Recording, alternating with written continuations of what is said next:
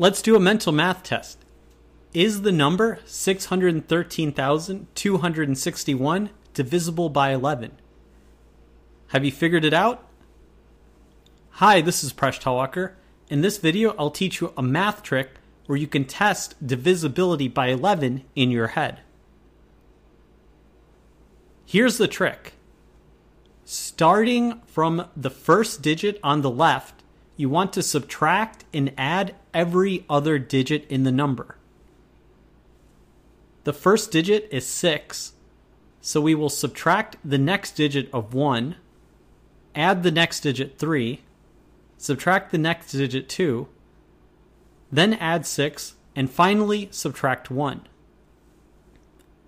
This is an easy calculation to perform, and we get the answer of 11.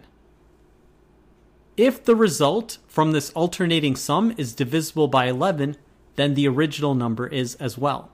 So 11 is divisible by 11, so we know the original number is divisible by 11. Let's use this trick to do a couple of examples. Let's do 15,237.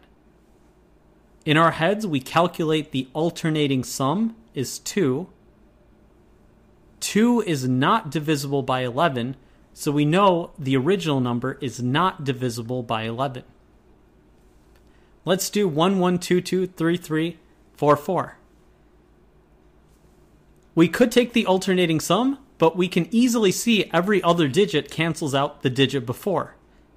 So we know 0 is the result, 0 is divisible by 11, so the original number is also divisible by 11.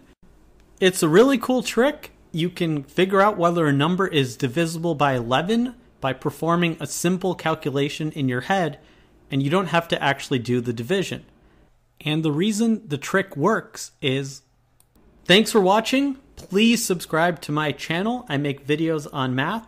You can get my books. There's a link in the video description. Catch me on my blog, Mind Your Decisions which you can follow on Facebook and Google+. You can also follow me at Presh Talwalkar on Twitter, Instagram, and Tumblr, and you can support me on Patreon.